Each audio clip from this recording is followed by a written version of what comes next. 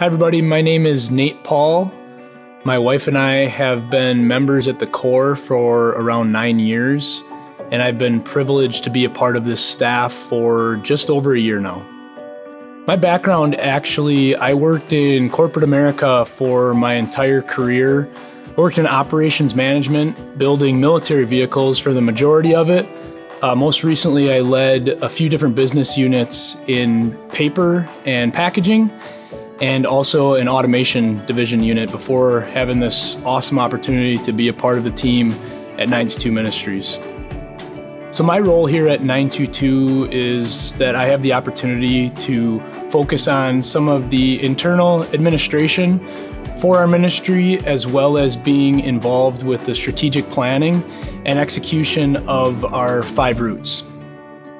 I feel for, so fortunate to be a part of the team at 922 Ministries. My, my background coming from corporate America, it is just amazing having the opportunity to work in the ministry and work with this team. Uh, number one, we have just such an incredible group of talented people that are so passionate about their Savior, and I, I simply love being a part of that culture.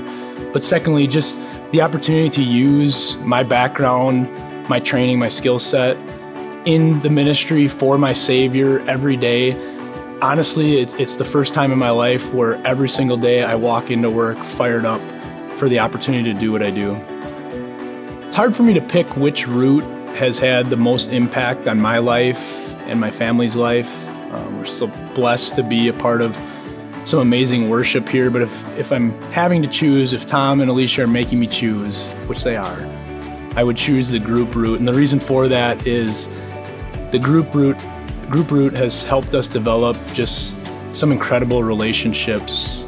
We've been able to share some of the highs and lows of our life and, and those people that we have done life together with in Christian fellowship now are, are they're family to us to put it simply and, and I'm so thankful to have those folks in my life because we did group together. My life outside of work is filled with what was three kids, and as of a few weeks ago, we added our fourth.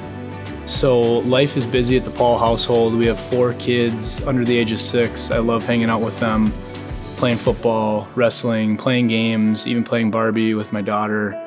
Um, I love dating my wife when we have the opportunity to do that. I used to hunt.